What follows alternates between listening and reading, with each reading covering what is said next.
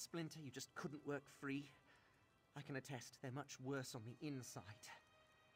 Got into a tangle with a Spriggan in the Shadowgreen. Think it wanted to take root in my guts. I'll live, provided I can get off this mountain before it explodes. Friendly word of warning, the mountain's going to explode. I was hired to investigate the odd rumblings beneath the stone. The cause, it turns out, are Reachmen working some kind of magic, stoking the fires of this sleeping mountain. Don't suppose you'd take a cut to put a stop to it?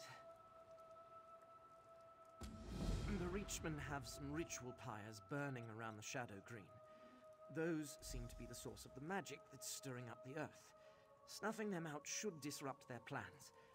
Their plans being to turn this place into another Red Mountain. I thought I'd pretty well summarized our predicament. Reachmen, pyres, exploding mountains.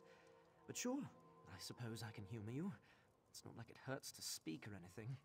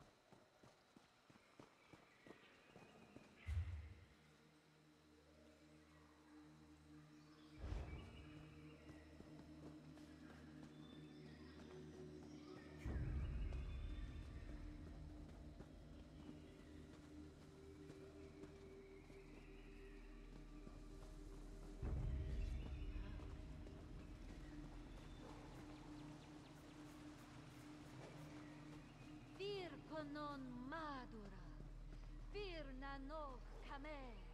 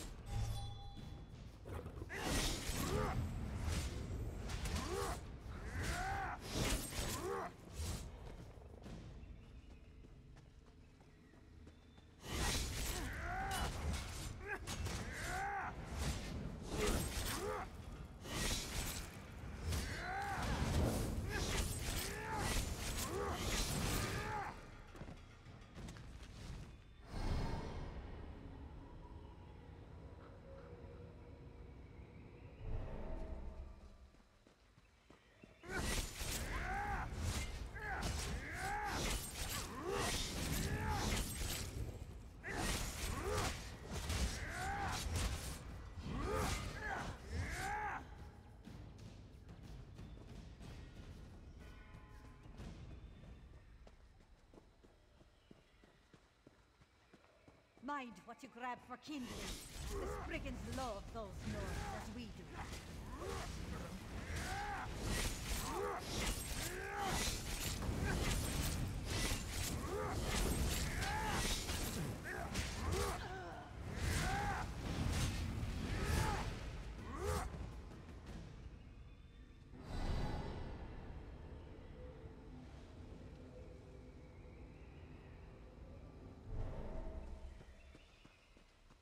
Og ilduna travel. Shall shug o paternok. minds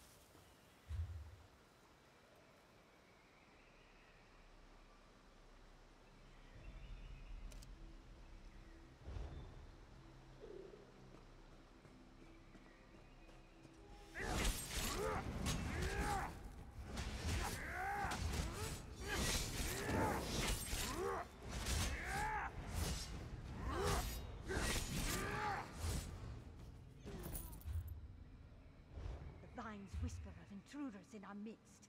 Be wary. Continue the rite. Lead life.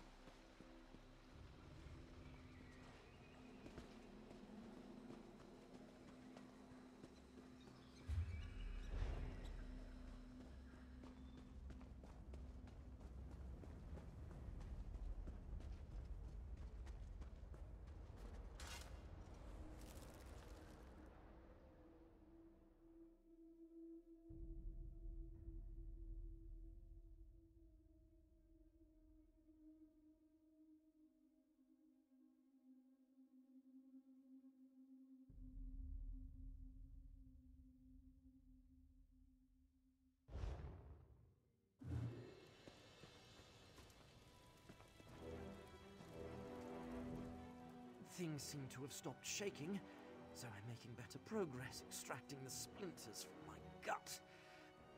I take it the pyres have been put out?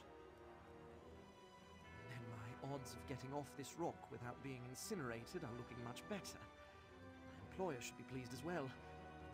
Here's your cut of my pay. I should subcontract more often.